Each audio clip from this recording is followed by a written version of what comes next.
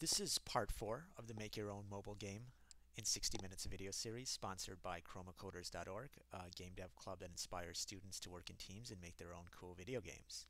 So when we first, uh, or when we last left off, basically we were talking about creating a little sky in the scene. Um, we were trying to build our little uh, mobile game uh, based on that mini spec where we're going to have bananas fall from the ground and the, and or fall from the sky and the monkey has to catch them to eat them. And if they just fall on the ground we're going to allow the player to touch the banana to move them out of the way and remove them from the scene so the monkey can still walk you know um, go on the ground and move and try to catch the bananas. And to move the monkey the player will use the accelerometer to move left or right. Okay so let's uh, so we have that sky. Now let's add the other items and what we're going to do is we're going to add that ground, you know, we, which we were discussing. And so we just do another new image in ground.x and ground.y. We set those positions. And we give it a name, you know, ground.myname.ground. And the same with the banana. We got to add a banana. Okay, x and y. And uh, cool. So let's do that. And then we're going to call it uh, banana.myname equals banana. And then we're going to do that with monkey know, put the monkey towards the ground and give it the name of monkey. And then the left side and right side, remember, um, in our spec, since the, uh, the player can move the monkey left or right, you know, with the accelerometer, we need to have barriers on the left side and right side so it makes sure that the monkey doesn't fall off the platform. And so we're going to add those items here. So we have the left side and, you know, set the X and Y position. And then we give it the name of left side. Okay and then the right side. There we go. Okay, and then don't forget we have to have a score. This is a game, so we got to make sure, make the player feel like, you know, they're actually making progress as they catch each banana. So we're going to add a little score in the top right corner. So we do that with the new text and then, you know, set the X and Y position. Cool, now we've saved this. You can hit File and Save. And then what we do is, uh, once again, we can just quickly hit Control R or do File Relaunch, File, relaunch and then you actually see now everything there. We have the monkey there we have the ground there we have the banana there we have the left side and right barriers and we have the text for the score right up there. So you know really cool. And what's really awesome that I want to mention that I find really useful when I'm writing code in Corona is that basically if you make a change you can quickly relaunch the code uh, the simulator to test out the code. You don't have to wait two to five minutes to to compile the source again and then run it in the emulator. So that, I think that's really awesome and just one of the reasons why it becomes more much more fun to develop. So we've done all that and um, okay cool but you know where we, we need to add this actually you know where's the physics simulator how do we actually get it so that the bananas fall from the sky and then we can actually figure out if the banana collides with the monkey and stuff like that and so to do that we um, we're going to go to step two, which is if you go at the top of the main.lua, go to, um, you know, physics equals require physics, so that turns it on, and new physics.start. And we'll just set the gravity to 9.8. Um, and then what we're going to do is we're going to go to those objects now. And so since Corona kind of has this physics system, what we need to do is actually take all the objects we made, like the ground or whatever, and add that to the physics simulation system. So we, we can do that by using physics.addBody, right?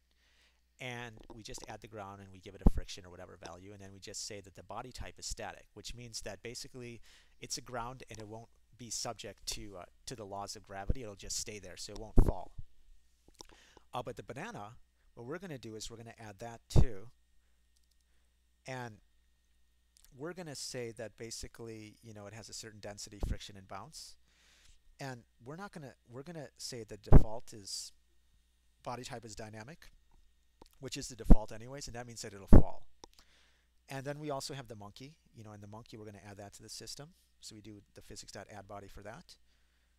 And we also can do that for the left side and right barriers too. And remember, those barriers are just pretty much supposed to be there to stop things. So it, we're just going to say it's a static object. We're using the physics.addBody and then uh, just say the body type is static. So now we can save it and then we'll relaunch and let's see what happens. So basically what you're seeing now is kind of a physics simulation, which is cool. The banana is falling from the sky. It hits the monkey. Um, you know, it's a good start. So let's let's see what to do next.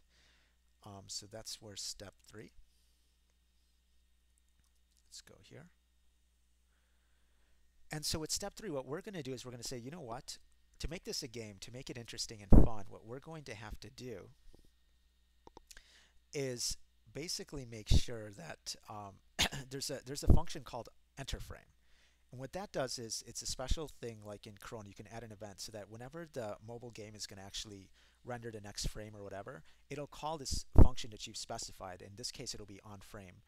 And so what we can do is we can process it. We can keep a counter or whatever else in that frame. And so maybe every 40 frames, we can have a random banana fall from the sky so that the monkey can catch it. So we're going to add this event listener called enter frame and we're going to do it for on frame which is right up there which is right here. And okay. So we're going to do is we're going to uncomment out that function and we're going to have something called frame counter which we'll just keep track of the frame counter so because we want to do it every 40 frames. We're going to have another random banana falling out. So it says go to 4c or if you go at the top right here 4c is where we're actually uh, setting up some of these global variables like bananas eaten. This will help us keep track of the score so that as the monkey catches the bananas, we can increment that and that and then we'll update it in that little score text in the top right corner.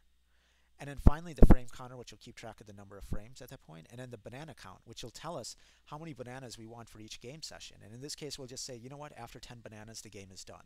But you can change that to 20 or 30 or whatever else. So now let's go to 4D. And uh, what we got to do is now we have the frame counter. Uh, let's put in an if statement that says, you know what? If if we're kind of like if it's another 40 frames and the banana count and we still have bananas to drop because remember that banana count starts out at 10. Um, if we still are have bananas to kind of drop from the sky, we're going to say that banana count, uh, you know, we're going to decrement the banana counts. We're going to say we have one less banana to drop from the sky.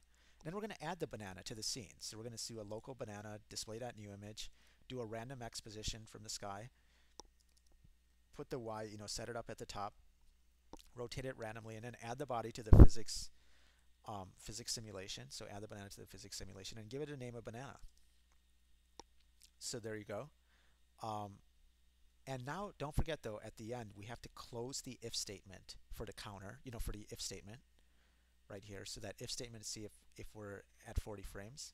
We're going to close that. And then we also have to close the function itself.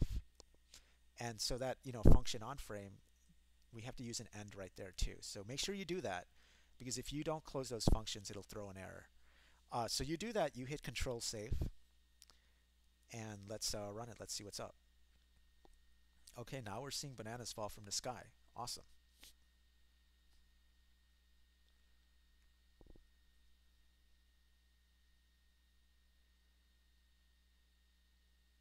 Okay, so that's great. Um, you know, that's okay. So so now we're getting there. And now what we're going to do next is actually we're going to remember how we said that basically if the bananas fall on the ground, they get in the way of the monkey. So we need to be able to get the player to be able to tap the banana from the ground if it's on the ground to remove it. And so that's what we'll do in the next video. Uh, is go over that and some of the other final touches uh, to actually get the final game done. Uh, so until then, uh, have fun.